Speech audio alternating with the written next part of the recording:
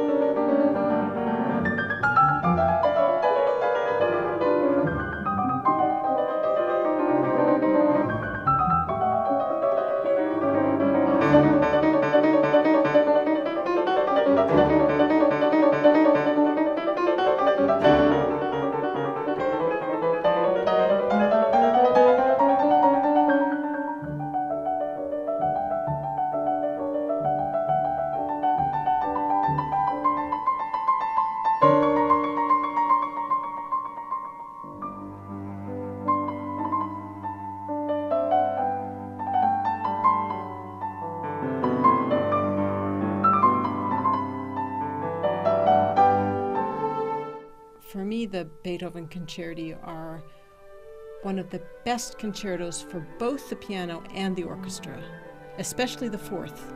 The second piano concerto was written, actually, the second piano concerto he wrote first. It's called second because it was published after the first one. But he wrote it first, and the difference is very interesting. It's much more a soloist with orchestra. The fourth piano concerto is much more like Jacek and I talked about, a symphony, in that the orchestral part is integrated in with the piano solo part. And it's impossible to really play the piano part well without understanding the orchestration at the same time.